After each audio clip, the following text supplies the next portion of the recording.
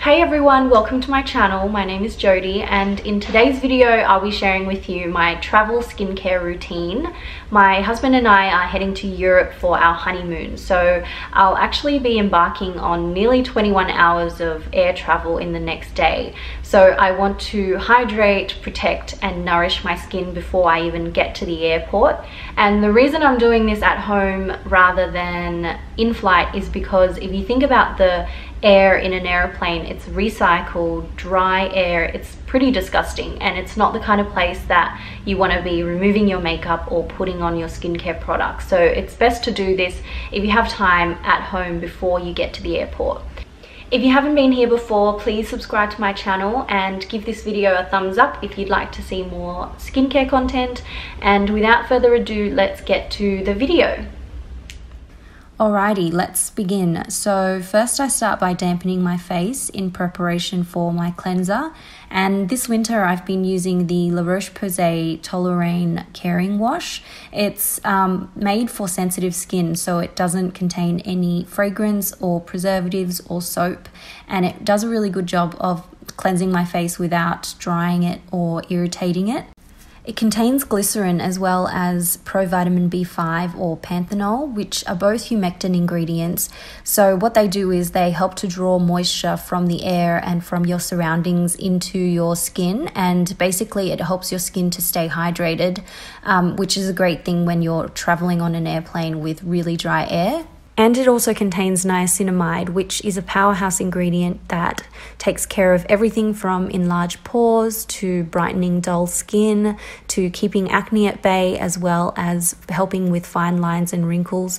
So I basically just love this ingredient in any of my skincare products. I like to get a really good cleanse by washing my face for at least 30 seconds and then once that's all rinsed off, I dab it dry with a towel really gently. Afterwards, I go straight in with my vitamin C, which is a great antioxidant. I've been using this one from Dermalogica for the past 18 months or so and I've kept using it because I've noticed some really good improvements in the hyperpigmentation on my cheeks, which is from previous um, acne.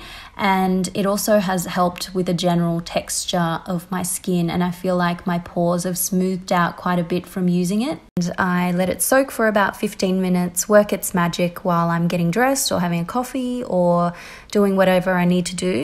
And it's also a really pleasant serum to use. It's sort of like a watery texture, so it doesn't stay sticky on the skin and it absorbs really quickly. Now that the vitamin C has had time to soak into my skin, I'm going in next with Natio's Rosewater Mist. Once again, this entire routine is all about hydrating and nourishing your skin um, and protecting it from the dry environment that you're about to step into. And whilst my skin is still damp from the mist, I move on next to my essence, and this one is the Cosrx Snail Mucin, which contains 96% snail's secretion, which isn't as gross as it sounds because snail mucin is a really good ingredient for helping with repairing damaged skin as well as maintaining hydration. And it's such an awesome, simple product for hydration because dehydrated skin is one of the culprits of having enlarged pores as well as acne breakouts. So, even though I have oily skin underneath, I get dehydrated during the winter. And now it's time to lock in all of that hydration with a really solid moisturizer for the plane ride. The moisturizer I've been reaching for lately is this Murad City Skin Overnight Detox Cream, and it comes in this really handy airtight container to lock in all the goodness of the anti inflammatory and antioxidant ingredients that it contains. Um, it has marrubium extract as well as barley extract, which both help to calm and soothe the skin. Um, and it also helps with calming redness, which I suffer from in the morning sometimes. And of course, being so close to the sun during a flight means that SPF is extra important. One of my favorite sunscreens of all time is this Aloe Soothing Sun Cream from Cosrx. It has a gel cream sort of texture and it goes on really smooth and feels really light on the skin. And what I've discovered is that if I use a foundation brush to blend it in, it blends really nicely, it doesn't take as long, and it gets rid of the white cast almost immediately. It has SPF 50, which will protect your skin from burning, and it's also PA, which in Asian sunscreens means that it's the second highest level of protection that you'll get from harmful UVA rays that cause aging. And on an aeroplane, the windows are only designed to block out the UVB rays, but you're not actually getting any protection from the aging rays. So it's really important to slap on that sunscreen. I'm also extending the sun protection to my lips. And next I'm going to apply my lip balm which has SPF 50 because my first flight is going to be 14 hours long, I'm going in also with my face oil. This one is from Clarins. It's one of my favorite face oils. It's the one that I keep going back to. I think this is my third or fourth bottle in the past few years.